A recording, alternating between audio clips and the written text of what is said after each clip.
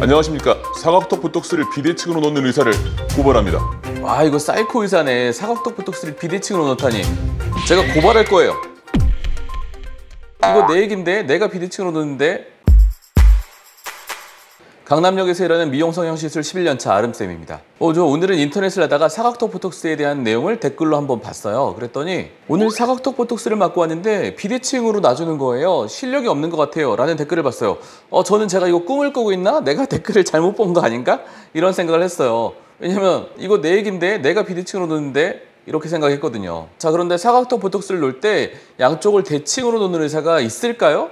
제 생각에는 요즘에는 거의 없을 것 같은데요. 정말 정말 왕초보 의사가 아니라면요. 만약에 그런 의사가 있다면 생각이 없고 센스도 없고 공부한 적도 없고 가르쳐줄 선배 의사도 없는 거예요. 왜냐하면 양쪽의 근육의 모양이 다르기 때문이죠. 자, 근육의 모양만 다른 게 아니라 얼굴의 뼈 모양도 다 다르기 때문에 그래요. 그런데 이 양쪽을 똑같이 놨다. 그러면 뭐 의사가 이 사각턱 보톡스를 놓을 필요가 있을까요?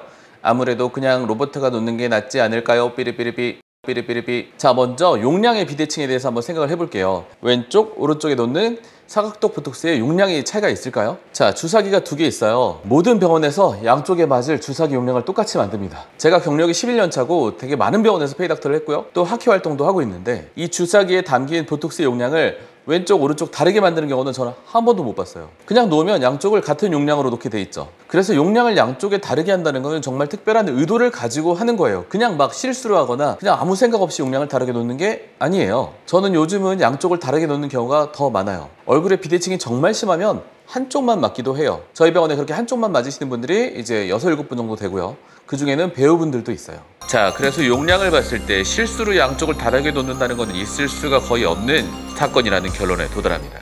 자 이제 용량의 비대칭에 대해서 생각을 해봤으니까 이제 위치에 대한 비대칭을 생각해 볼게요. 위치 위치 위치 위치 위치 위치. 위치 위치 위치. 여러분 사각턱 보톡스 맞기 전에 사각턱 근육의 모양이 양쪽이 같을까요? 틀릴까요? 예, 현명하신 아름이 여러분들은 벌써 알고 계시죠? 양쪽의 모양이 정말 달라요. 볼륨도 다르고 위치도 다르고 넓이도 다르고 어디가 제일 많이 튀어나왔느냐 하는 것도 달라요. 그럼 양쪽에 포인트 놓는 위치를 똑같이 하면 될까요? 안 될까요?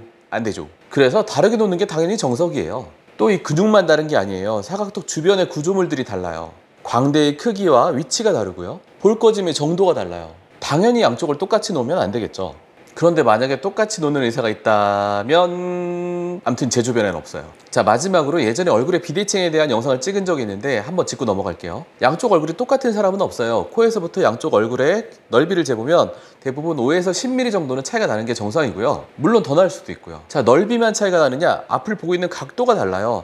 한쪽은 약간 옆을 향해 있을 수 있고 한쪽은 다시 앞을 보고 있을 수가 있어요. 넙대하게. 재밌는 거는 한쪽의 얼굴이 넓은 쪽이 근육도 더 큰 경우가 더 많기는 해요. 그래서 원래 얼굴뼈가 넓은 거 플러스 근육이 넓은 게 같이 있어서 비대칭이 더 큰 경우가 많고요. 보톡스를 맞아서 그나마 근육에 의한 비대칭이 좀 줄어드는 경우가 많죠. 자 하지만 걱정 마세요. 음, 음, 음, 음. 대부분 사람들은 양쪽 얼굴이 대부분 비대칭이에요. 다른 사람은 안 그런데 왜 나만 그렇지 하고 생각한 적이 한 번쯤은 있으실 텐데요. 이 현상에 대해서 제가 예전에 영상으로 만들어 둔 게 있으니까 한번 봐주세요. 자 여담으로 근육이 큰 쪽에 보톡스를 더 많이 놔도 근육이 줄어드는 속도가 늦으니까 어, 비대칭인데 왜 이렇게 안 줄지 걱정하지 않으셔도 되고요. 자 오늘의 결론. 두둥탁.